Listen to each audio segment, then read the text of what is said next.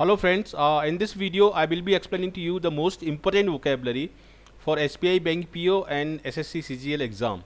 So this vocabulary I have taken from the last year question papers and uh, this kind of uh, vocabulary is very very common in these banking exams. So let us see uh, these vocabulary one by one.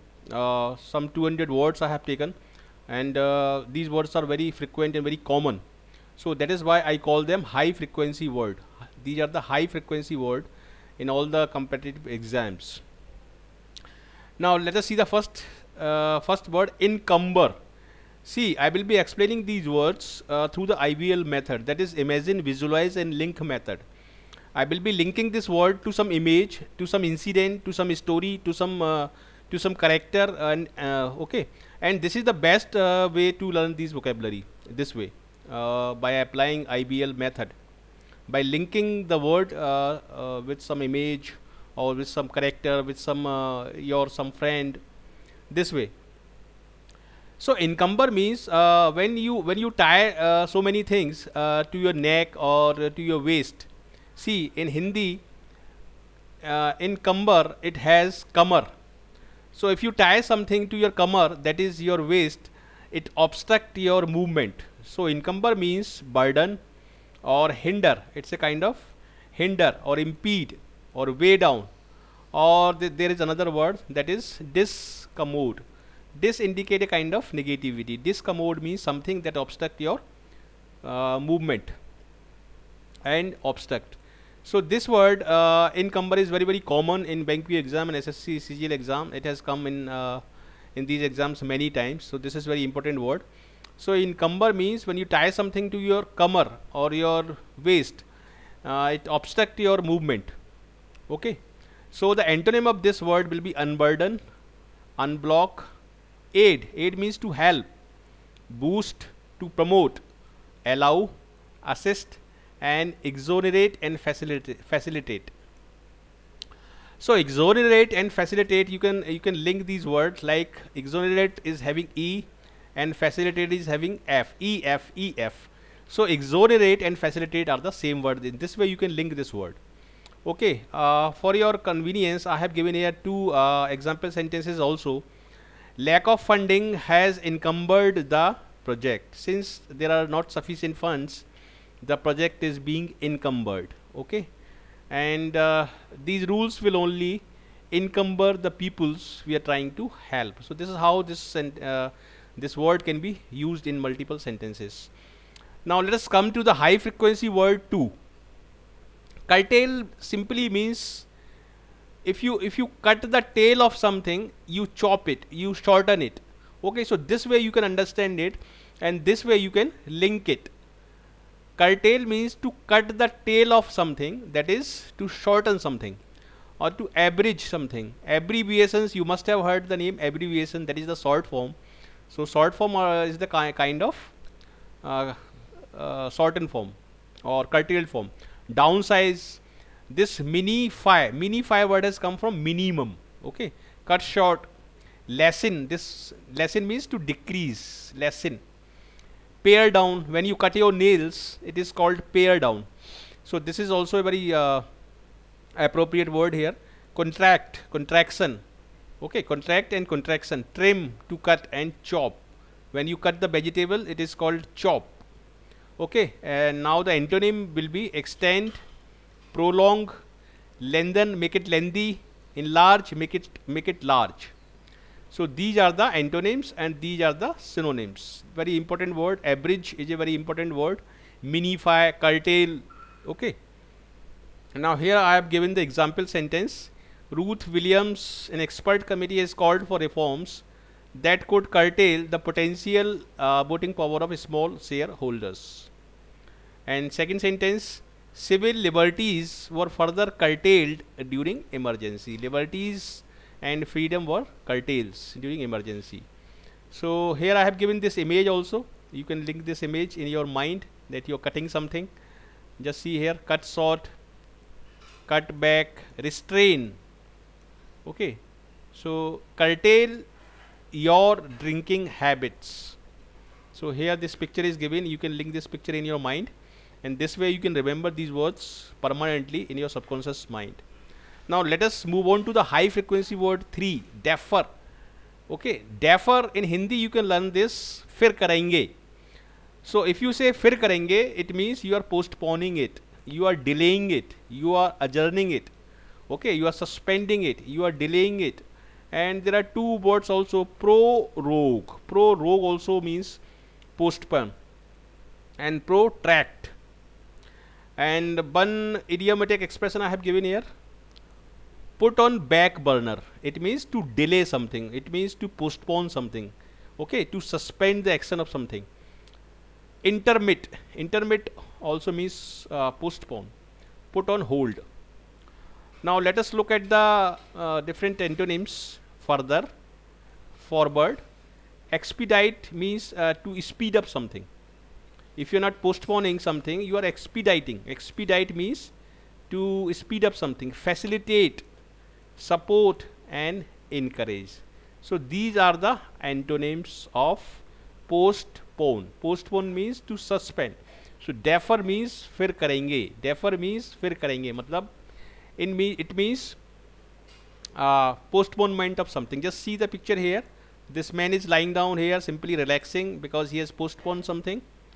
And uh, you can look at this you can go through this example also. Almost one fifth of the students enrolled at Deccan University uh, Baramul campus have opted to defer study. They want to postpone study. So defer means postpone. Defer means postpone now let us see the high frequency word. Next high frequency word number 4 pernicious pernicious is something on which you can cut the per in Hindi par means punk. Okay? So if you cut the uh, punk of something uh, that is very harmful. If you need to cut the par of something it means that is harmful. That is why you want to cut the par of it. So par means punk in Hindi. Okay so it is also called detrimental. Something that makes you mental that is mad is is is detrimental or is harmful. Okay so detrimental means harmful or malicious and spiteful. Okay malicious and spiteful people are very bad. They spread malice and spite. They are very jealous of uh, other people miasmatic this is a new word miasmatic and uh, deleterious deleterious you can combine this word with detrimental. So detrimental and deleterious sound the same way. Detrimental, deleterious, detrimental, deleterious. So detrimental and deleterious means harmful. Now the antonym of this word will be beneficial. Innocuous, innocuous is very important word. It has come in uh, many exam multiple times. Innocuous means harmless. Innocuous means harmless. Okay, harmless benevolent, advantageous. So these are the antonym of this word. Obviously, you can see the picture here. This cigarette smoking is very very pernicious to your health, very very injurious to your health. Okay, just now, now look at the example sentence. Scientists have devised a plan to wipe out one of the Australia's most pernicious and prolific pest, the cane toad. Okay pernicious here means harmful harmful pest. Okay so this is how you can learn this word for the whole life permanently. Now let us see the next high frequency word number 5 ludicrous ludicrous in hindi this ludi uh, uh, is, is uh, it is pronounced the same way as you pronounce lads or ladke or londe lapade. So what kind of thing uh, londe lapade or ladke can do? They can do the absurd things because they are not mature enough. They can do the silly thing. They can do the nonsensical thing. So ludicrous simply means absurd, silly or nonsensical. You can uh, learn this word also preposterous. Okay, preposterous. Fata poster nikla hero. From the poster, uh, only silly things can come. Ridiculous, laughable. And uh, you can link this word foolish and farcical. They sound the same way. So you can link these words farcical and foolish. Farcical and foolish. And these few words I have written here. Grotesque foolish burlesque foolish and zany. These two words sound the same word. These two word uh, had the same ending. So you can learn this word. Grotesque and burlesque. Grotesque and burlesque means nonsensical the antonym of these words obviously will be sensible. Grave if something is grave it's serious. There is a grave problem. There is a grave unemployment problem in india. That is serious reasonable serious and logical. So these are the antonym of this word ludicrous. Okay i read an article the other day and i came across the most ludicrous statement the most silly and foolish statement. Okay. Just see the picture here. He is uh, running this cart in the silly way. So you can remember this thing. Now let us move on to the next part. High frequency word number 6 palatable is simply related with your palate. And palate is found in your throat. And that is directly connected connected with your taste and appetite. So if something is palatable it means it is tasty it is delicious it is toothsome it is delectable. Palatable and delectable sound the same way. Palatable and delectable. Flavorsome yummy. You must have heard this word in uh, many advertising campaigns. Yummy. Yummy means tasty. Yummy means tasty. Luscious luscious you can combine this word with the lassi in hindi. Since lassi is tasty luscious can signify something that is tasty. Luscious tasty luscious tasty. Sapid. Sapid means also tasty. Sapid is something that has a lot of sap. And sap indicate juice. And juice is tasty. Okay so sapid is tasty. In the same way soporific soporific you can you can link this word with the sap and sap means juice and juice is tasty. Soporific. Scrumptious scrumptious scrumptious this word is also means tasty. You can see this picture here.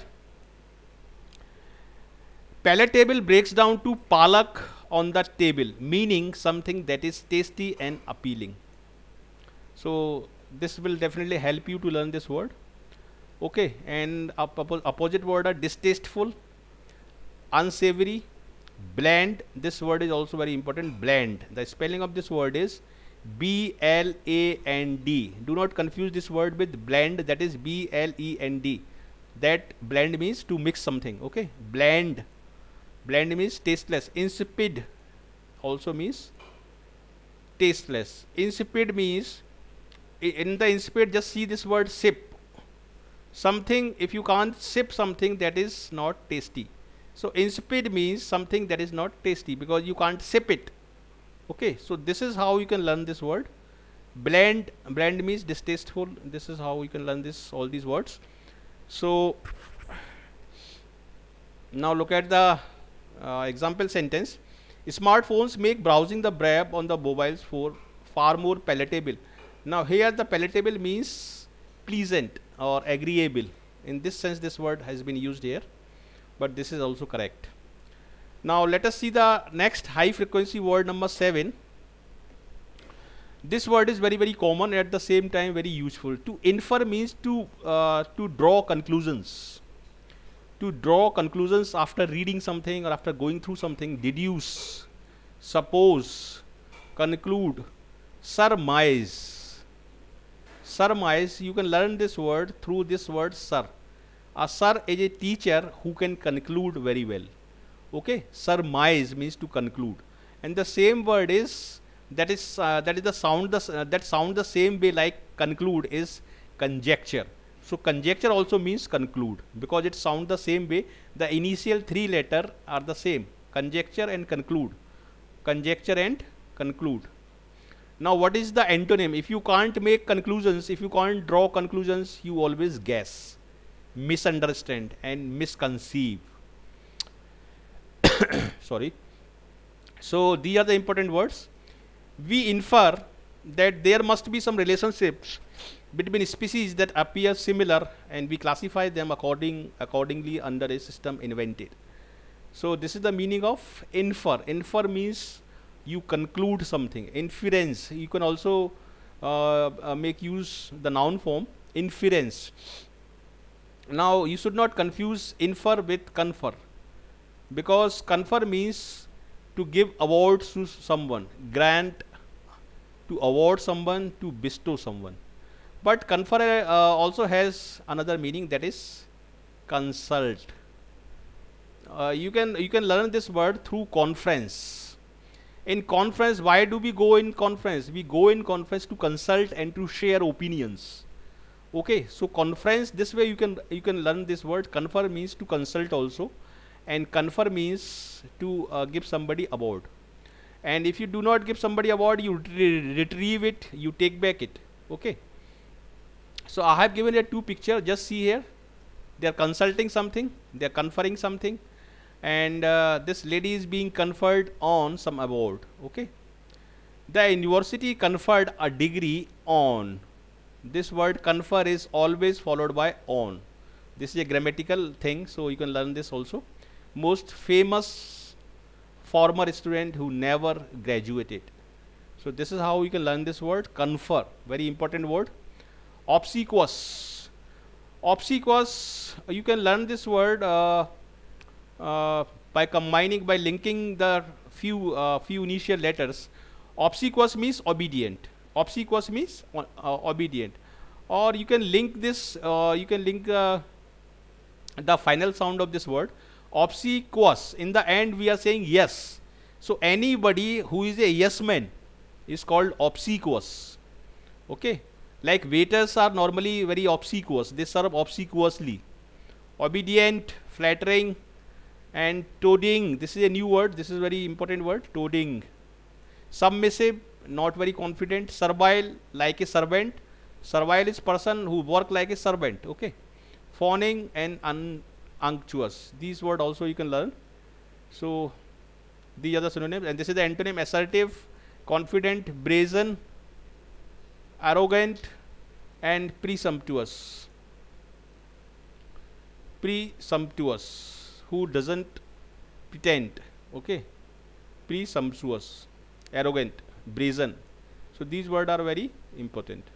Now let us look at these sentences. These are the sentences example sentences here. Obedient or attentive to an excessive or servile degree. This is the definition and this is the example. They were served by obsequious waiters okay? And uh, just see here. You can see this picture also. Just see here how he is making him uh, do what he want him to do. Just see here. He is very very obsequious and he is very very dominant. This man is dominant and this man is obsequious. Just see here the dog the picture of this dog. Very interesting picture. Okay now let us look at the last word cardinal. See there are two kind of words in english cardinal words and ordinal words. Ordinal indicate order that is first second third fourth. And cardinal are the prime numbers like first like 1 2 3 4 so cardinal simply means prime or basic or chief or principal. Antonym will be secondary, peripheral. If something is not prime or chief, it is peripheral.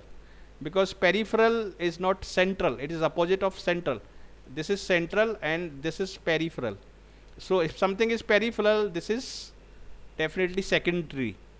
This is secondary and the nucleus part and the central part is cardinal. This is cardinal, center additional and auxiliary also the opposite of cardinal. One perspective that seems to have been ignored is what I regard as the cardinal role of the revolutionary guard. Cardinal role means chief role, prime role, principal role that is cardinal. So you can learn this through cardinal number and ordinal numbers. I have given pictures here also. Just see here I have given pictures here al also. So uh, this is the end of this video tutorial.